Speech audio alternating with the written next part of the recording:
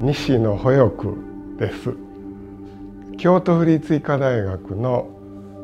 名誉教授並びに特任教授をやっています。でもともと僕自身はあの仏教徒なんですね。で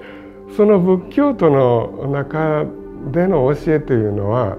やはりあの人に対するあのこう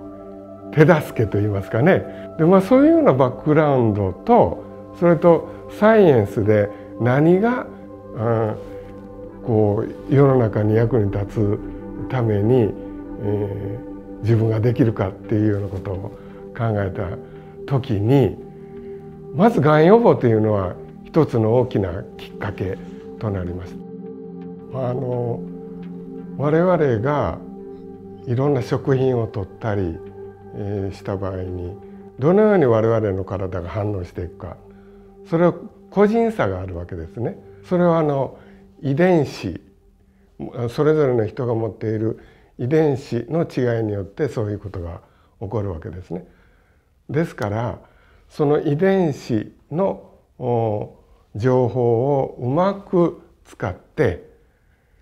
この人には最適なやり方として例えばサプリメントを与える量であるとか使う量ですよねそういうものをどうすればいいか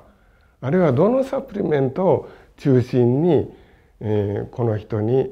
えー、取ってもらうのがいいかそんなことが分かるようになるわけですね。ですからまさにオプティマルヘルスを目標にするときにそのような情報が生きてくるということになると思います。でいろんな種類のものをうまく野菜や果物を利用して、えー、今後取っていけるようにするかこんなことが重要だと思います。伝伝統的な野菜類をうまく今まで使ってきたというそういう歴史があるわけですよね。でその中でやっぱりあのこうなかなか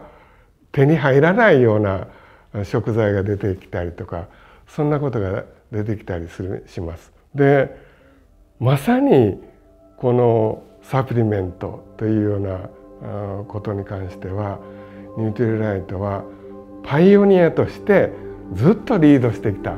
という歴史を持っているわけです。もう初めから、えー、このニュートリライトというところが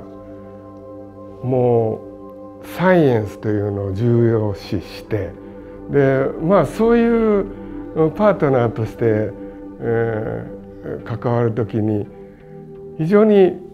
気持ちの良いパートナーというような感じがします。